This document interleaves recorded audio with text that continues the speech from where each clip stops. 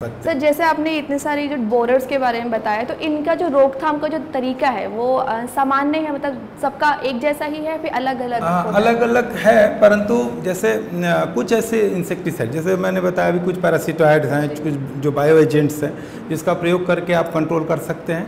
अगर कंट्रोल नहीं हो पाता है ऐसी अवस्था में आप क्लोरेंट्रेनिलीप्रोल दवा है अ, उसका 18.5 एससी दवा आती है उसका 375 एमएल प्रति हेक्टेयर के हिसाब से इसका खेत में अगर डाल दें तो कंट्रोल हो जाता तो जाता है। दवाई को पानी वगैरह के साथ पानी के साथ घोल बना करके और उसमें एक और कीड़ा है जो अर्ली शूट बोरर बोलते हैं अगेती कीट है।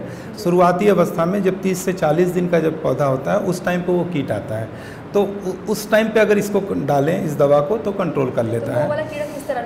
वो वो शुरुआत में जैसे ही पौधा थोड़ा बड़ा होता है उसी समय वो कीट आएगा और और छेद करके नुकसान करता है और ऊपर का उसका बढ़वार रुक जाती है। तो क्लोरेंटेनलीप्रोल का प्रयोग कर सकते हैं। और इसी प्रकार, और, जैसा मैं बताया, टॉप बोरर और दूसरे बोरर्स हैं, इसको भी क्लोरेंटेनलीप्रोल का 375 एम दवा से एक बार अगर आप मई, जून के महीने में एक बार प्रयोग कर देते हैं तो इससे टॉप बोरर का जो जनरेशन्स बनती हैं, एक तीसरी जनरेशन आती है जो जून, जुलाई में, और उसके बाद अगस्त के महीने के बाद चौथी जनरेशन आती है।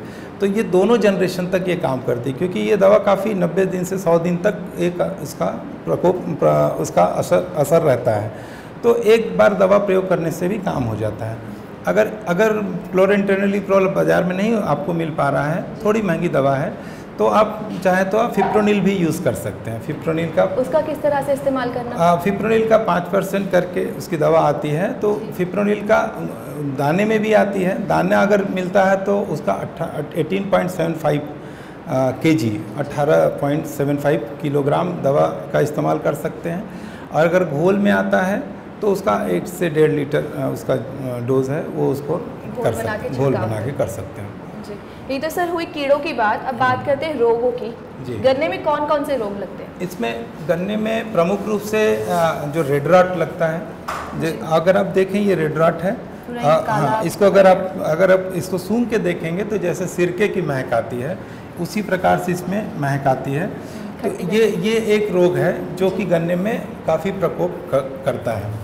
और इसके अलावा रेड इस, इसका क्या नुकसान है? क्या इससे इससे पूरा खेत सूख जाता है। और इसमें अक्सर करके ये चूँकि गन्ने में बीज बीज गन्ना ही होता है गन्ने से गन्ना आगे ले जाते हाँ। हैं अगर किसी भी खेत से में अगर पहले से रेड रॉट का प्रकोप है लाल सरण रोग का प्रकोप है तो उसकी संभावना है कि आगे भी बढ़ जाए। तो किसान भाइयों से तो हम यही कहेंगे कि जब भी आप बीज का चुनाव करें तो ऐसे खेत से चुनाव करें जिसमें किसी भी प्रकार का रोग ना हो रोग ग्रसित नहीं होना चाहिए। और जिस खेत में पहले से ये रोग है तो, तो उस उसमें उसमें कर उसमें कोशिश करें कि एक साल कम से कम गन्ना ना लगाएँ कोई और फ़सल ले लें धान ले लें कोई और फ़सल ले लें अगले वर्ष फिर से गन्ना लगाएँ। क्योंकि रोगों के जितने भी स्पोर्स होते हैं वो सब पहले से ही खेत में अगर हैं तो सब पूरी चांसेस हैं कि वो पुनः खेत आ जाएगा। तो इसी तरह से कुछ और रोग हैं। एक विल्ट है सूखा रोग आता है। सूखा रोग में अगर आप देखें तो इसमें पूरा हॉलो बन जाता है। सूख करके बीच में हॉलो बन जाता है।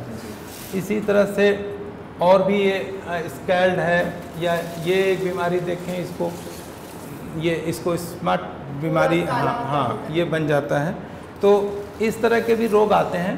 तो मुख्यतः रोगों के लिए अगर किसी भी खेत में अगर रोग है तो आप उस खेत से रोग को पहले रोग रोग ग्रसित पौधे को तो निकाल के बाहर कर दें। दूसरी चीज़ कि उस खेत से अगली बार रैटून क्रॉप ना लें। जो दो, खेत एक बार गन्ने में रैटून क्रॉप लेते हैं, एक बार मेन क्रॉप होती, काट करके रैटून क्रॉप लेते हैं। तो रैटून क्रॉप को अवॉइड करें। तीसरी बात है कि जब भी आप चुनाव करें बीज का तो हमेशा ऐसे खेत से चुनाव करें जहाँ पर रोग ना हो।